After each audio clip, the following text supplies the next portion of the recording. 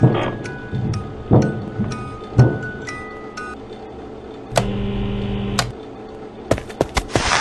Freddy. Ah, ah, hey, hey, Bonnie. Have you seen the night guard? He's not wearing his costume again. Ha ha! Well, you know him. Yeah, but we'll find him eventually. It's just difficult with that spare Freddy head he's been wearing. Well, as you can see, he's nowhere around here, so why don't you go look elsewhere? Night guard!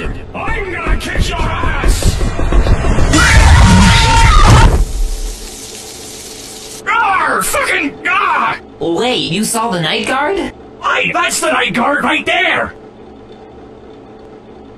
No, that's just Freddy. No!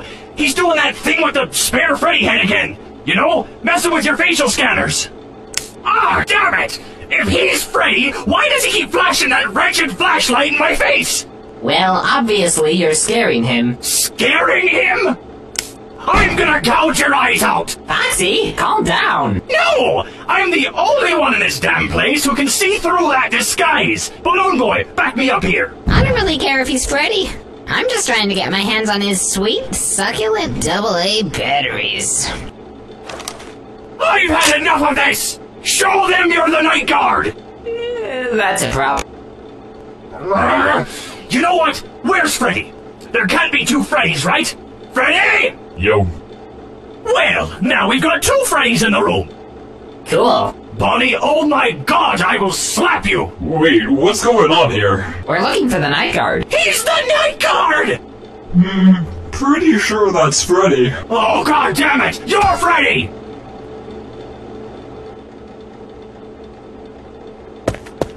Where are you going?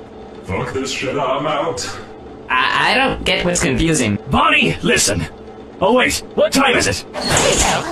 Oi, Mangle, what time is it? It's about 559. 5.59? It be the night guard! The night guard? The night guard? Batteries.